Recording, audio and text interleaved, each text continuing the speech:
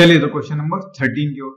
As observe from the top of 75 metre high lighthouse from a sea level the angle of depression of two ships are 30 degree and 45 degree if one ship is exactly behind the other on the same side of the lighthouse find the distance between the ships ये question है समझने के लिए। एक diagram को use करते हैं ठीक है। देखो क्या कहा गया था? एक लाइट हाउस है। लाइट हाउस समझते हैं ना?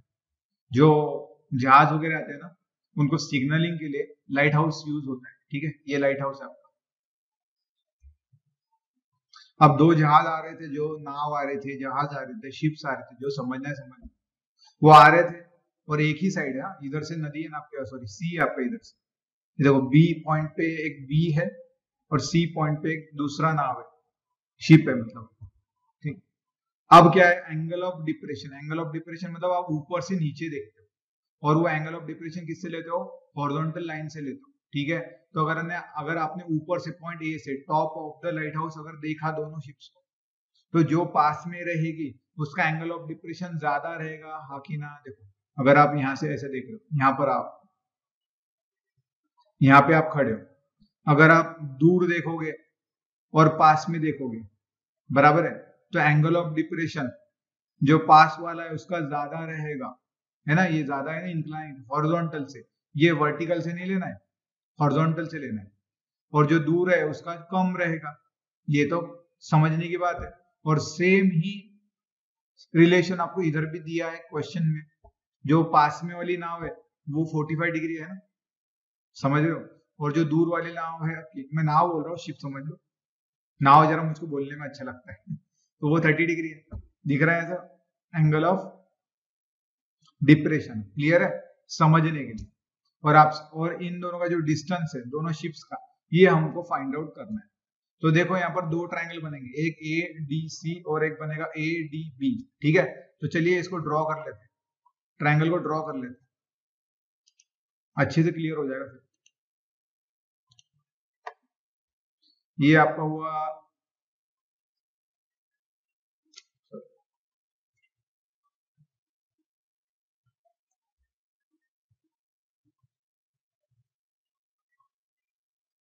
लाइट हाउस ठीक है?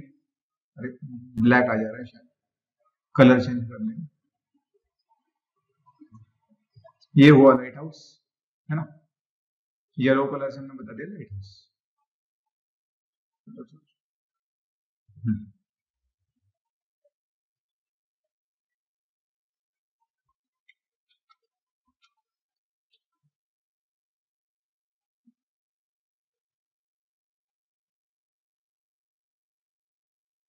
एक हॉरिजॉन्टल आपका सी लेवल है, ठीक है? ये 90 डिग्री रहेगा लाइट हाउस राइट अब यहाँ पर पॉइंट ए पे पॉइंट ए पे आपका एक शीप है और पॉइंट सी पे सेकंड वाला शीप है, ठीक है ना? ये समझ में आ रहा ये जो टॉप है, वो ए पॉइंट है, जो बॉटम है लाइट हाउस का वो डी पॉइंट है, ठीक है? और लाइट हाउस की जो हाइट है, वो दी है आपको 75 मीटर बड़ा ही रहेगा ना लाइट हाउस छोटा सा थोड़ी रहेगा, दूर से दिखना चाहिए ना शिप शिप भी का छोटा सा थोड़ी होता है?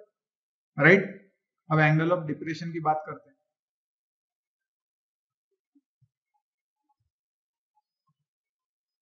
थोड़ा ब्लू कलर में समझेंगे। तो डायग्राम थोड़ा अच्छे से निकले, समझ में भी अच्छे से आएगा देखो, ये ज्वाइन करूँगा। ठीक हाँ चल, पहले ये समझते जो दूर वाला शिप है वो कितने डिग्री एंगल ऑफ़ डिप्रेशन है उसका? देखो हॉरिजॉन्टल बना लिया। ये 30 डिग्री है राइट ये 30 डिग्री। जो दूर वाला है। अब मुझको बताओ, ये जो हॉरिजॉन्टल लाइन है, ये वाला आपने जो ऊपर बनाया है, ये पैरेलल है ना आपके बॉटम को? हॉरिजॉन्टल लाइन से ना वो? तो पैरेलल ही रहेगा ना। तो ये बताओ, ये जेड बन रहा है ना ऐसा? जेड बन रहा है ना ये वाला एंगल ये एंगल यहाँ ए ये पॉइंट बी पे जेड बन रहा है। तो अगर ये यहाँ पर थर्टी है तो यहाँ पर भी तो थर्टी डिग्री होगा। अल्टरनेट इंटीरियर एंगल याद है? पैरेलल लाइंस में देखा था ना अगर ऐसी दो पैरेलल लाइंस होती, ये कट होता है तो ये वाला एंगल और ये एंगल हमने जेड देखा था।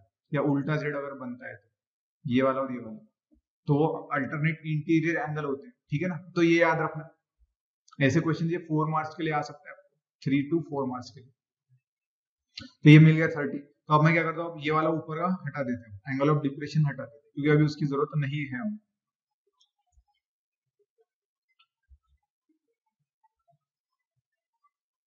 ठीक है? अब हम ज्वाइन करते हैं।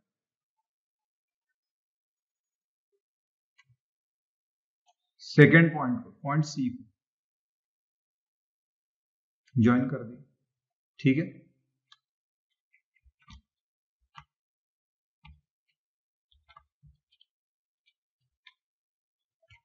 तो चलिए अब। अब जो दूसरा हमने पॉइंट ज्वाइन किया है, ठीक है ना? कौन सा ए सी पास वाले शिप से ज्वाइन किया। तो इसका एंगल ऑफ़ डिप्रेशन हॉरिजॉन्टल से कितना कहा गया आपको? 45 डिग्री है ना? तो ये वाला जो एंगल होगा, ये भी 45 डिग्री होगा, है ना? ऐसा जेड बन रहा है ना ऐसा ये पॉइंट ए ये पॉइंट सी अगर ये 45 है तो ये भी 45 होगा।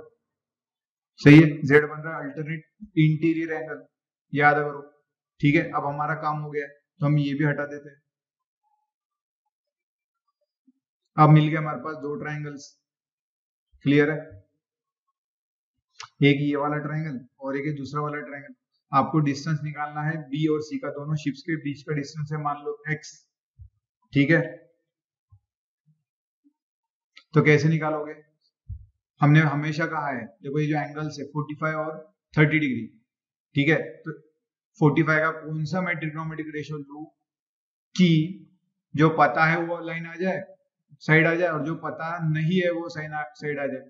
अब मुझको ये जो डायगोनल से इससे तो कोई लेना देना है ही नहीं। तो ऐसा ट्रिग्नोमेट्रिक रेशियो लो ही मत, जिससे सॉरी डायगोनल बोल रहे हम ये हाइपोटेनस है ना? हाइपोटेनस लेना ही नहीं हमको। क्यों? क्योंकि उसकी ज़रूरत ही नहीं निकालने की। और वो इक्वल भी नहीं है दोनों ट्राइंगल्स में। उनका कोई रिलेशन भी नहीं बन रहा है।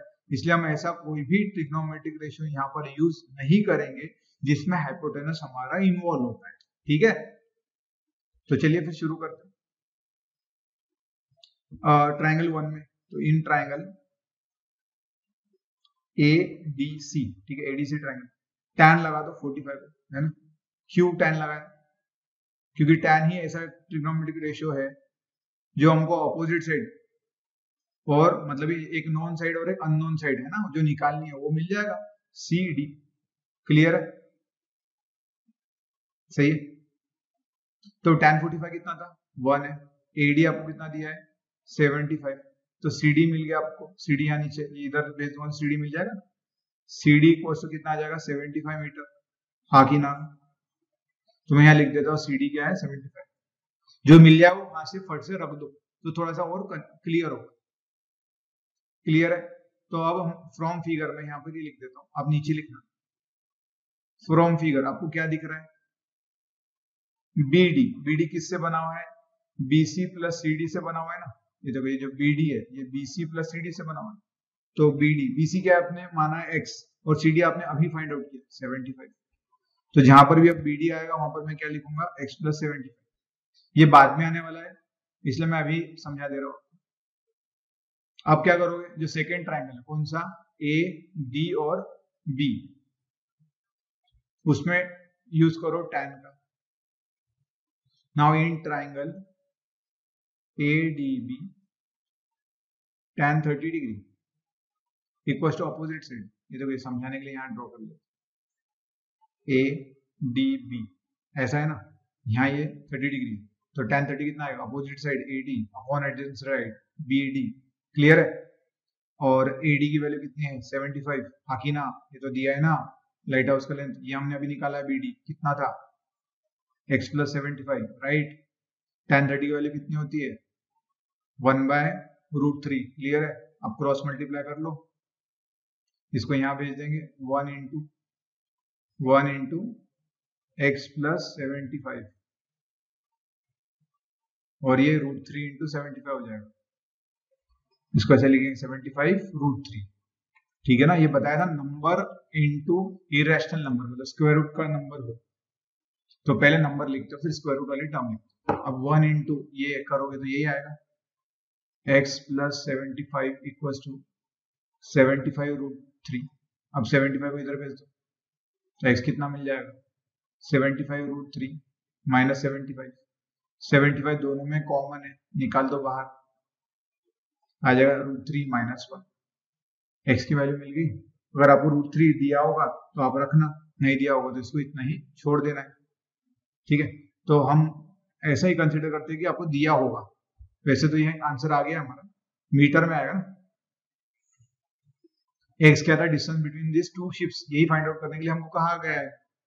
बस आंसर में लिख देना। Therefore the distance between the two ships is 75 in bracket root three minus one but अगर रूट थ्री की वैल्यू दी होती तो आप पुट करते।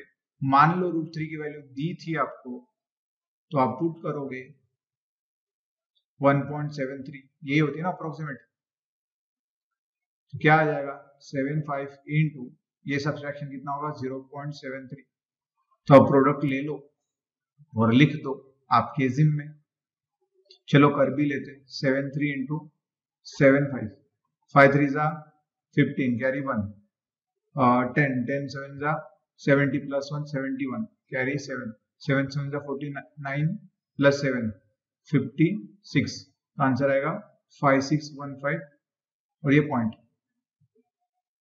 अब कुछ बच्चों को दिक्कत होगी कि सर ने एक ही लाइन में कैसे बना लिया है तो वैदिक मैथ्स मैंने कवर किया है क्रॉस मल्टीप्लीकेशन मेथड वो देख लो। और यहाँ पर दो के बाद डेसिमल था, इसलिए दो के बाद दे दिया। तो five six one five metre will be the distance between this two ships बराबर है? एग्जैक्ट आंसर अगर आपको फाइंड आउट करना हो। अगर रूट थ्री की वैल्यू दी होती तो ठीक है? तो ये भी सही है और ये भी सही है depending on value given okay बस अब हमेशा मैं कहता हूँ आंसर लिखना है आंसर वर्डिंग में लिखना चाहिए therefore the distance between the two ships is ठीक है? कोई डाउट नहीं होना चाहिए। चलिए फिर next question number fourteen a 1.2 metre tall girl sports है ना a balloon moving with a wind in a horizontal line at a height of क्या बोला है 88.2 meter from the ground.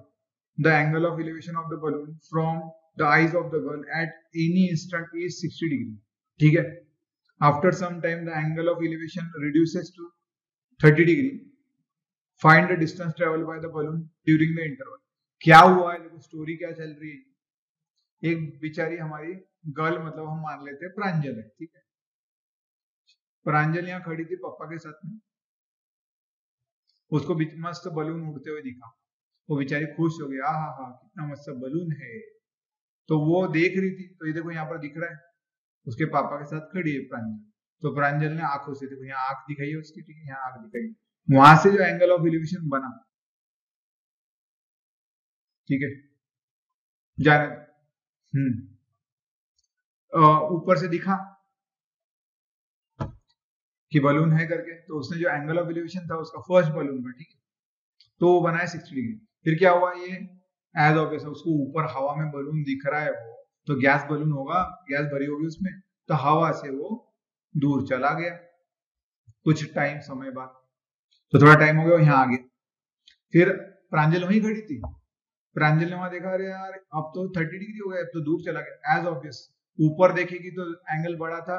जैसे ही थोड़ा दूर चला गया तो उसको इधर देखना पड़ रहा है। तो एंगल ऑफ़ जो इलिवेशन है, वो छोटा हो गया। ठीक है? अब देखो बच्चे क्या करते हैं, समझने में जो क्या गड़बड़ करते हैं। ये एक एंगल है, ये एक एंगल है। मान लो ये एंगल सेम है। बट अगर मैंने इसको ऐसा दिख, बताया, ऐसा, और एक को ऐसा बताया तो क्या बोलेंगे? ये बड़ा दिख रहा है।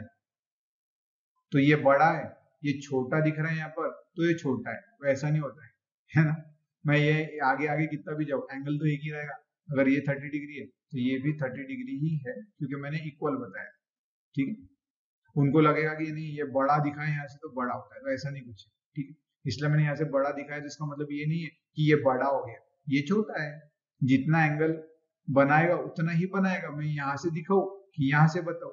जो एंगल है वो ही रहने वाला। ठीक है? तो बोलेंगे 60 तो इतना सा बताया। ये बड़ा दिखाया तो ये बड़ा एंगल होगा। तो इसको 30 लेते इसको 60 लेते उल्टा कर देंगे मतलब। यहाँ गड़बड़ मत कर। ठीक है? तो डोंट डू सच मिस्टेक तो ये भी हटा देते तो ये तो दिया ही आपको सब कुछ बनाकर। जो हाँ इस दौरान जो हाइट थी बलून की, वो सेम ही रही देखो हाइट सेम ही रही कितनी? 88.2 मीटर ही रही और हमको क्या पूछा गया है? ये जो डिस्टेंस ट्रेवल किया उसने, यहाँ तक, यहाँ पे था ना, यहाँ यहाँ से यहाँ। ये डिस्टेंस ट्रेवल करना मतलब ये डिस्टेंस ट्रेवल करना। ये हमको फाइंड आउट करना तो चलो, इसको क्या कर लेते हैं? ये जो भी फिगर है, इसको हम हमारे मैथमेटिकल डायग्राम में ड्रॉ कर लेते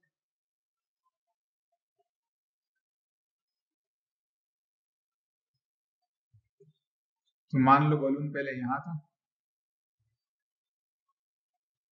एक हॉरिजॉन्टल लाइन भी बना दी।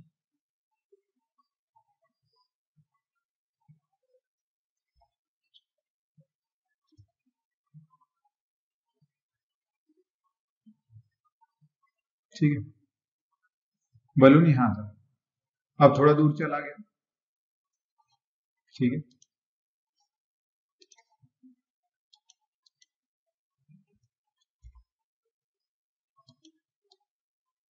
बलून को उठा के यहाँ रख दिया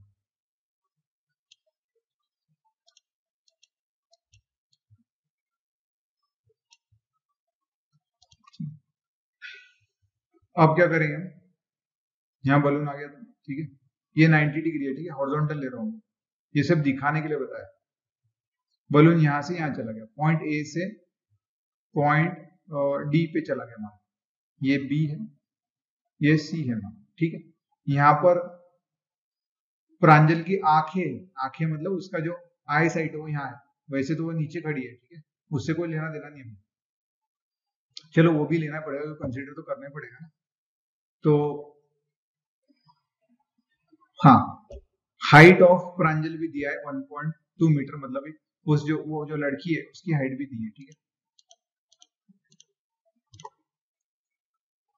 चलो फिर, वो भी ले लेंगे तो मैं कैसा हॉरिजॉन्टल लाइन ड्रॉ कर रहा हूँ यहाँ पर, समझने के लिए।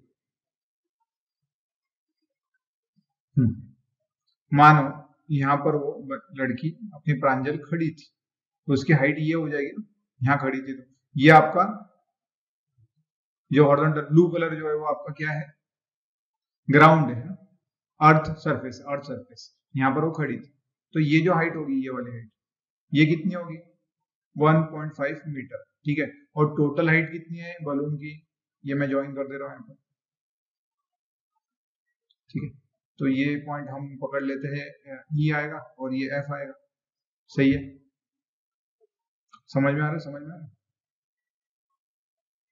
ई e और एफ़ हो गया तो ये भी 1.2 ही होगा। टोटल डिस्टेंस कितना दिया है? टोटल मतलब हाइट 88.2 मीटर उसमें से मैं ये अगर माइनस कर दू तो ये वाली हाइट कितनी बनेगी? 88.2 में से आप 1.2 माइनस कर लेना। कितना हो गया?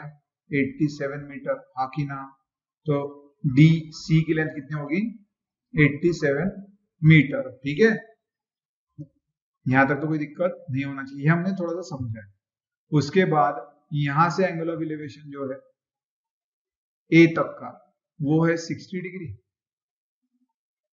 और डी से अगर एंगल ऑफ़ इलेवेशन लो तो वो है 30 डिग्री ठीक है? अब हमको ये नीचे वाले पार्ट की कोई ज़रूरत नहीं है तो समझने के लिए हम ये जो ऊपर के दो ट्राइंगल्स बने हैं, कौन से? ये वाला और ये वाला। इसको फिर से नीचे ड्रॉ करते हैं। हाँ अब देखो, ये हाइट भी तो सेम रहेगी ना ए बी और डीसी की, क्योंकि वो राइट एंगल है हॉरिजॉन्टल के ऊपर। सही है? और उसमें से भी वही कटेगा। और हाइट तो कॉमन ही बोली थी अब तो ए बी भी जो आएगी हाइट उसकी कितनी आएगी? 87 मीटर ही आएगी ए बी अब इसी सिनारियों को फिर से ड्रॉ करते हैं।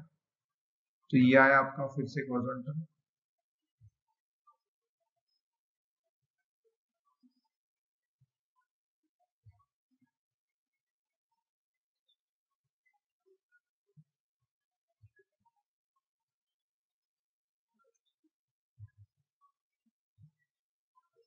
ठीक है।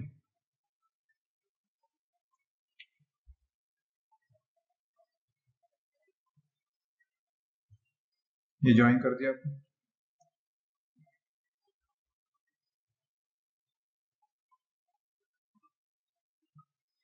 आप ये ज्वाइन करोगे आप तो दो ट्रायंगल बन गए। नाम क्या दिया हमने? ए ये बी और ये पॉइंट हम पी मान लेते P Q height of that girl तो पॉइंट पी मिल गया। और ये था आपका डी ये था आपका सी ये है आपका 87 और ए बी भी आपका 87 बट सिर्फ़ फ़र्क क्या है? जो ट्राइंगल ए पी बी है, वो 60 डिग्री है। ठीक है? और डी पी बी जो है,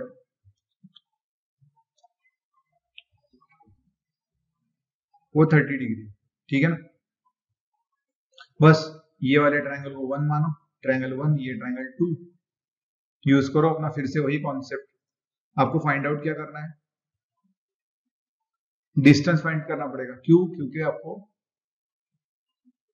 डिस्टेंस ही पूछा है। डिस्टेंस कितना ट्रेवल किया है? आपको फाइंड आउट क्या करना है? डिस्टेंस ट्रेवल तो डिस्टेंस ट्रेवल कौन सा है? बीसी एडी का डिस्टेंस ही मतलब बीसी का है। तो बीसी को मैं एक्स मानता हूँ। ठीक है? तो बस फिर वही कॉन्सेप्ट लगा लो। टैन लगाओगे ना फिर से। इन ट्राइंगल वन में A B P triangle A B P लगाओ टेन कितना? 60 डिग्री क्यों? क्योंकि ए बी पी के अंदर 60 डिग्री है ना? ये 60 डिग्री ये ए ये बी और पी ठीक है? समझ लो अपोजिट साइड कितना आएगा? A B upon adjacent side P B clear तो टेन सिक्सटी की वैल्यू कितनी होती है? रूट थ्री अपॉन में वन में सिर्फ़ समझाने के लिए लिख रहा हूँ। ए बी कितना है? एटी सेवन और पी बी नहीं पता है। ठीक है? तो पी बी मिल जाएगा आपको यहाँ से। क्रॉस करोगे ना तो पी बी इधर चला गया। तो root three P B equal to eighty seven मतलब ये पी बी की वैल्यू मिल गई। जो कि होगी eighty seven upon root three ठीक है? अब यहीं पे मैं एक लाइन ड्रॉ करके फिर से ट्राइंगल इन ट्राइंगल सेकेंड वाले ट्राइंगल में लगा दो। यूज़ करो। सेकेंड ट्राइंगल कौन सा है आपका? D C P right tan thirty degree लगाओगे, क्योंकि ये एंगल थर्टी है ना, यहाँ पर। अपोजिट साइड क्या आएगा? डीसी अपॉन एडजेसेंट साइड क्या आएगा? पीसी पूरा साइड आएगा ना, पूरी लाइन लेंथ है तो टेन थर्टी की वैल्यू कितनी थी? One by root three DC कितना है? 87 और पीसी पीसी किससे बना हुआ है? बताओ। चाहो तो पहले पीसी निकालो। पीसी अभी क्रॉस करोगे इधर इधर। बार बार हमने बताया कि क्या होता है। तो पीसी इक्वल टू क्या आएगा? 87 सेवन रूट थ्री अब बताओ पीसी किससे वो बना हुआ है? पीसी बना हुआ है पीबी प्लस बीसी से। तो लिखो फिर। PB plus BC equal to eighty seven root three यहाँ लिख देना फ्रॉम फिगर फिगर से लाया हूँ। अब पीबी की वैल्यू आपको पता है।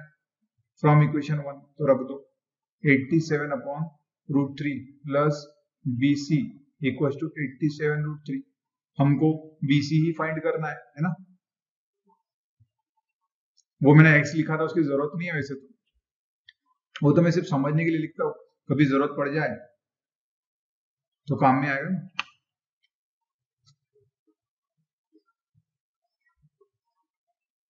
चलो फिर अब क्या आ जाएगा?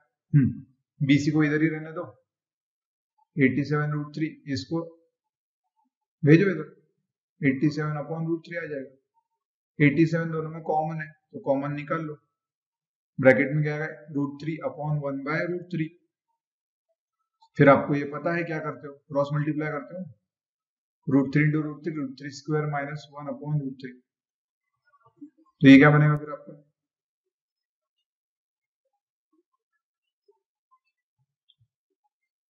एट्टी सेवन ब्रैकेट में बताओ रूट थ्री का square three minus one upon root three अब देखो डिनोमिनेटर में रूट थ्री आने वाला है। हम हमेशा कहते हैं कि जब भी डिनोमिनेटर में रूट थ्री आए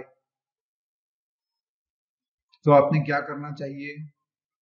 रैशनलाइज करना चाहिए डिनोमिनेटर को। तो मैं ये कर रहा हूँ। ये जो वैल्यू है थ्री माइनस वन ये कितनी आएगी? टू आएगी ठीक है ना? ये समझ रहे हो? इतना आने वाला था ये आने वाला था। मैंने सिर्फ़ root three upon root three से मल्टीप्लाई करा। क्यों? क्योंकि डिनोमिनेटर में हमेशा हमको इरेशनल नंबर नहीं रखनी है। ठीक है? तो कितना आ जाएगा फिर? 87 seven into two into root three ये न्यूमरेटर मल्टीप्लाई हो जाएगा। फिर ये मल्टीप्लाई होगा। Root three into root three कितना होता है? थ्री बार बार हम कह चुके हैं। अब थ्री से ये डिवाइड हो जाता है। कितना होगा? थ्री टू जा थ्री नाइन जा। और ट्वेंटी नाइन इंटू टू कितना हो जाएगा? Fifty eight root three clear है? ये कितना लेंथ आ गया आपका? किसका लेंथ आया ये? बीसी का। तो बीसी की वैल्यू होगी आपकी फिफ्टी एट रूट थ्री और फ्रॉम फिगर बीसी मतलब ही क्या है आपका? बीसी मैंने नाम दिया था ना यहाँ पर। ये बी सी मतलब ही ए और डी का डिस्टेंस है। हाँ कि ना? मतलब ही बलून का डिस्टेंस आपको मिल चुका है। तो यहाँ लिख लेना। From figure B C equal to A D यहाँ लिख लेते आप B C B C equal to A D अब बी सी की वैल्यू मिल गई मतलब एडी की लेंथ मिल गई। That is AD is equal to fifty eight root three आखी ना। और ये कितना है? मीटर में चल रहा है सब कुछ तो मीटर में लिख लेना। बस लास्ट में हमको हमेशा क्लोजिंग लाइन लिखनी होती है। आंसर क्या लिखोगे? Answer for distance travelled by your balloon is पूरा लिखना 58 root three metre root three की वैल्यू दी होती तो रख कर 58 से मल्टीप्लाई करके एग्जैक्ट आंसर हम फाइंड आउट फाइंड आउट कर ठीक है? थोड़ा लेंदी है, इसलिए तो तीन से चार मार्क्स के लिए आया कुछ सिंपल है। जब भी मैं सॉल्व करता हूँ, तब आपका काम है हमेशा स्क्रीनशॉट लेते रहना, जिससे सेशन कंप्लीट होने के बाद आप अगर क्वेश्चन में कोई डाउट हो, फिर से सॉल्व कर रहे हो, फिर भी डाउट आ रहा है, कहीं पे अटक गए हो तो आंसर फट से सॉल्यूशन देख सकोगे है ना? बट अगर आपके पास स्क्रीनशॉट्स नहीं रहेंगे तो आपको फिर से वीडियो देखना पड़ेगा, उसमें टाइम ज़्यादा कंज्यूम होगा अब देखो, इतना सारा हमने बनाया है तो है तो सही क्वेश्चन लेंदी तो है, इसलिए तो थ्री से फोर मार्क्स के लिए आएगा। ठीक है?